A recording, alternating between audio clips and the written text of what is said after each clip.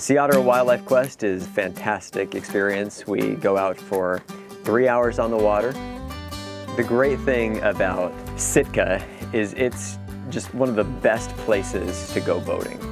We have this intricate maze of islands that keep us protected from the prevailing swell of the ocean. Get to see the kelp beds. The sea otters often are in those kelp beds, so we'll go and check them out. They're always fun and entertaining to watch. Steller sea lions are prevalent. Fairly frequently throughout the season, we'll see brown bears roaming the shoreline. The scenery, the wildlife that we have here just makes for a perfect tour.